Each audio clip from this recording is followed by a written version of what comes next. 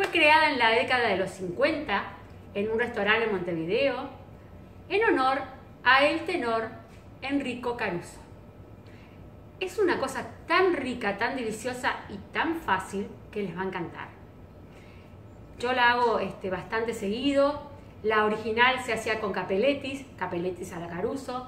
Yo la hago con ravioles, con tallarines, con cualquier pasta que se les ocurra. Queda deliciosa, deliciosa porque lo importante es la salsa en sí.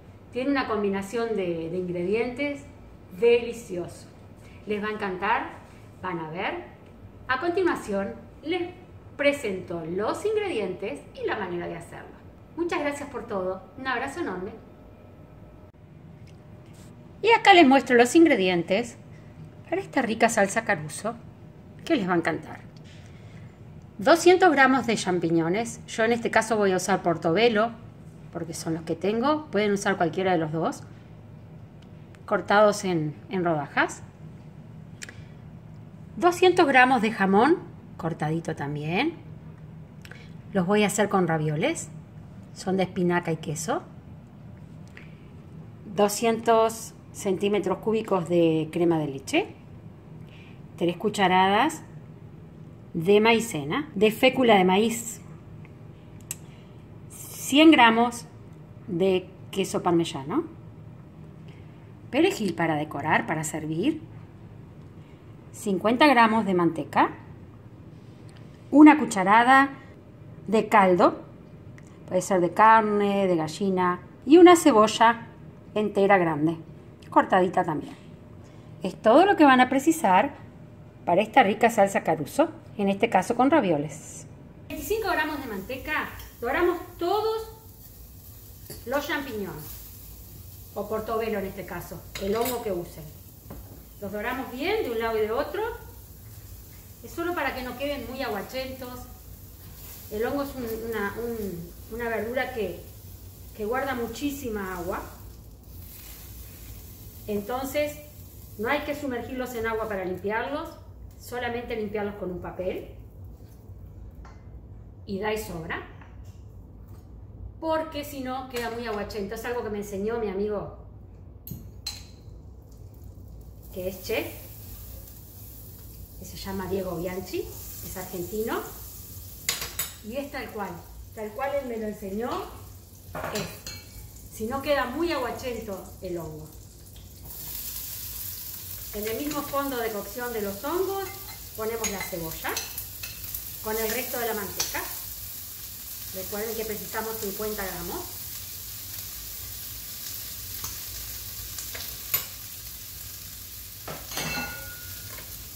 lo rehogamos.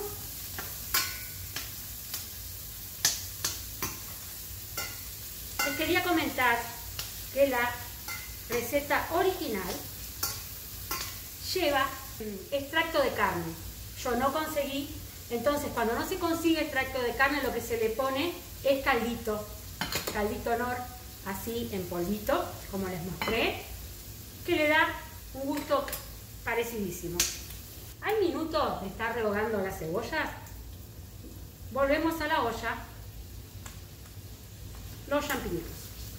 Para que vayan tomando gusto juntos.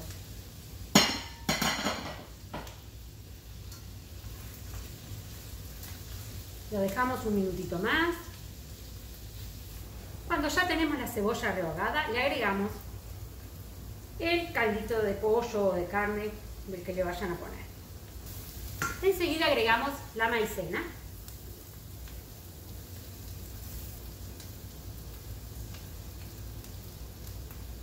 La revolvemos bien.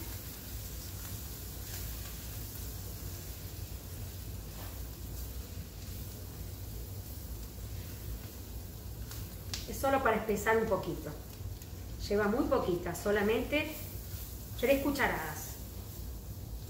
Agregamos el jamón.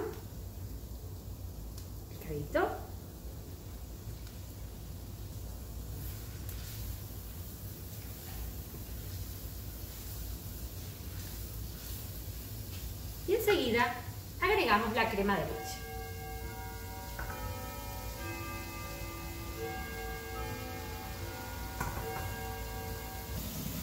Dejamos cocinar dos o tres minutos más para que se tomen todos los gustos. Y ya voy a poner a hervir los ravioles.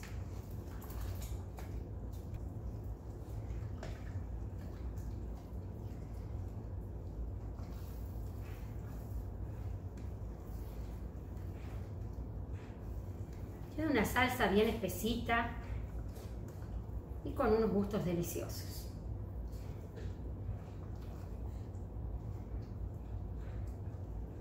Por lo general no se le pone más sal porque ya el caldito le da el gusto a la sal, el gusto salado. Y aparte falta el queso, que es cuando apaguemos el fuego, se le pone el queso y se deja reposar.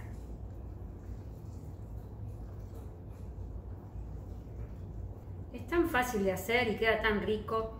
En caso de que usen hongos de lata, o sea, hongos que ya vienen cocidos en lata, rehoguen la cebolla, le ponen eh, los hongos y ahí los cocinan un poquito más. Pero no precisa que los doren, obvio, porque ya vienen prontos eh, los de lata. ¿ok? Pasado unos minutos, cuando ya ven que está consistente la salsa, lo apagamos y agregamos el queso rallado, que son 100 gramos. Mezclamos bien. Y dejamos descansar un poquito.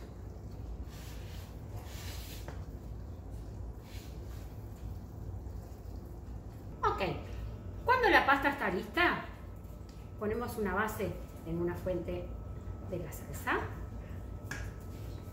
y agregamos la pasta.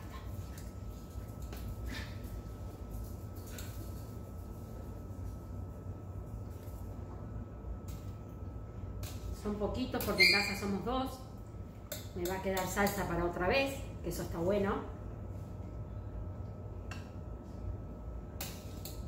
Pero queda delicioso.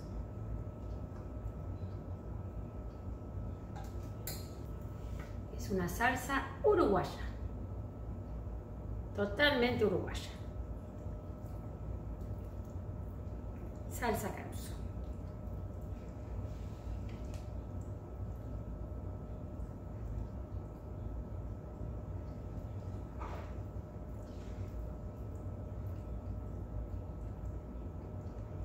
la creó un chef piamontés, como saben Uruguay y toda Latinoamérica.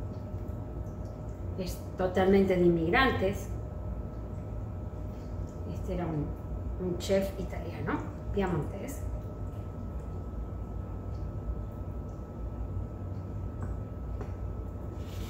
Y listo. Le ponemos un poquito de perejil por arriba porque ya el queso lo tiene adentro y servimos. Y acá les muestro cómo quedó la salsa en sí.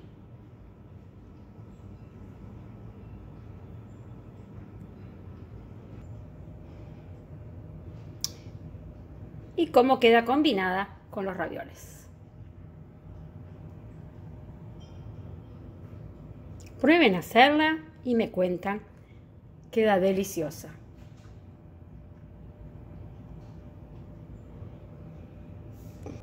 Bueno, y ahora solo resta servir.